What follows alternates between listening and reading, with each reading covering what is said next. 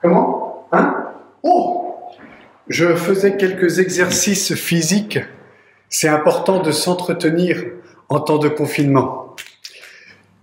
Mais il n'y a pas que le physique en temps de confinement, il y a aussi l'esprit.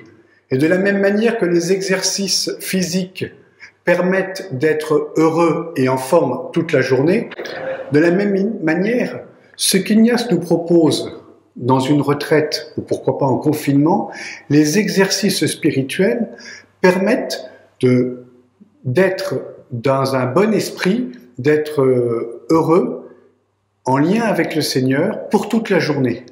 À la fois, c'est un rendez-vous précis, un exercice, et en même temps, ça a une répercussion pour trouver Dieu en toutes choses durant toute la journée.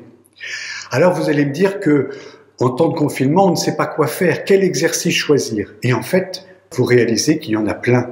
Il y a d'abord les propositions du diocèse, sur le site du diocèse.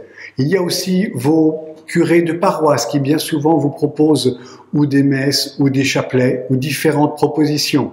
Il y a aussi tout ce qui va venir par euh, Facebook, par euh, WhatsApp et par vos réseaux amicaux. Il y a aussi bien évidemment vos mouvements spirituels.